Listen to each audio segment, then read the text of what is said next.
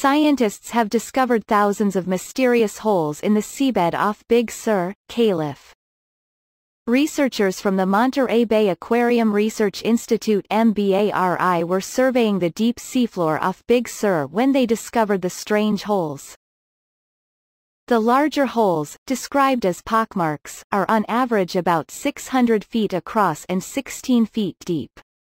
In a statement, MBARI noted that it first discovered some of the pockmarks in 1999. However, subsequent surveys by MBARI and other organizations have revealed over 5,200 pockmarks spread across 500 square miles. Thousands of smaller holes, known as microdepressions, have been discovered. Researchers have spotted around 15,000 microdepressions, which are, on average, 11 feet across and 3 feet deep.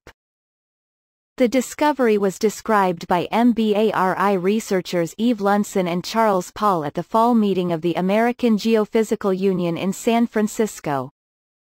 Scientists are keen to understand how the holes formed in the seabed because the area where they were found is the site of a proposed wind farm. In a separate study revealed at the fall meeting of the American Geophysical Union researchers gave fresh insight into the site of a nuclear battlefield by mapping test craters and sunken warships at Bikini Atoll in the Pacific. Last year, scientists announced the discovery of a stunning volcanic lost world off the coast of Tasmania. Follow James Rogers on Twitter James J. Rogers